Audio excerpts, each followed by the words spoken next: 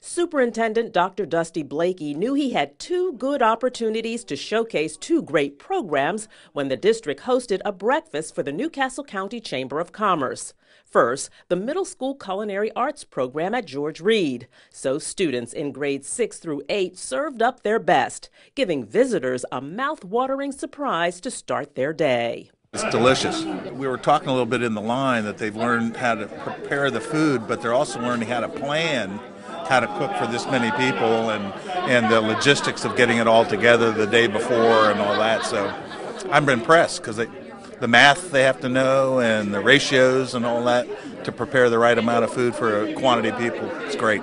Blakey also wanted visitors to see the updated school based health center at Eisenberg Elementary School.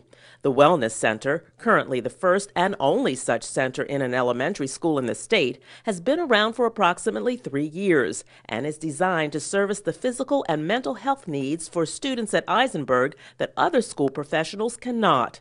Colonial, its partners, the Life Health Center, and Nemours, along with several other groups, hope to influence a change in regulations that will allow school based health centers to service multiple schools within the district. What is unique about what we do here is we um, encompass all three sides of health which is the physical, mental, and the social service side of it. We do physicals, immunizations, minor um, cultures, and then um, lab tests like strep throat cultures, um, lead tests, things of that nature that they wouldn't get if they didn't have a primary care.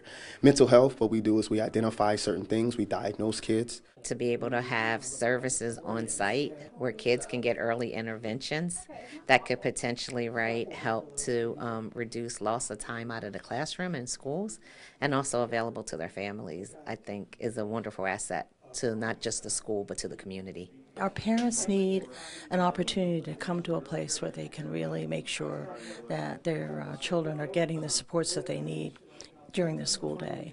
So um, the center is fantastic. I mean, it's amazing to me that they have converted a classroom into this facility. It's, it's just wonderful to see.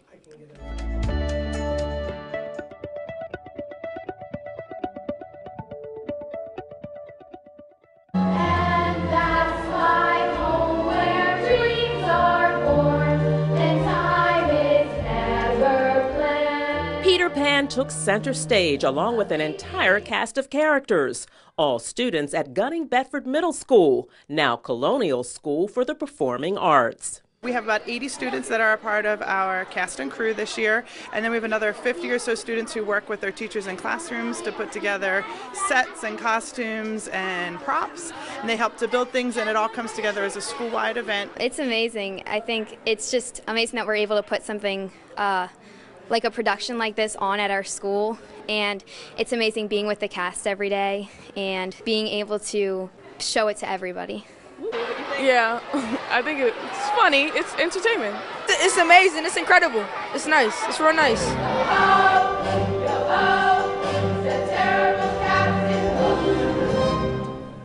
Although nervous, they're excited, and I think the excitement is probably coming out the most right now. They're doing great. They're doing great it's a lot of work and a lot of responsibility because like you're focused on learning your lines and your songs and making sure you remember your blocking. And then but still with all that you still have schoolwork and homework and other school stuff. So it's a lot but it's fun.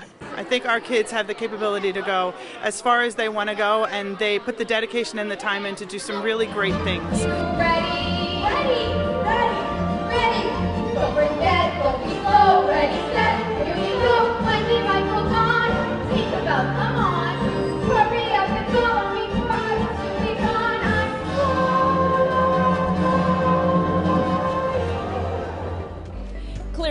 middle school students are taking center stage both inside and outside of the classroom.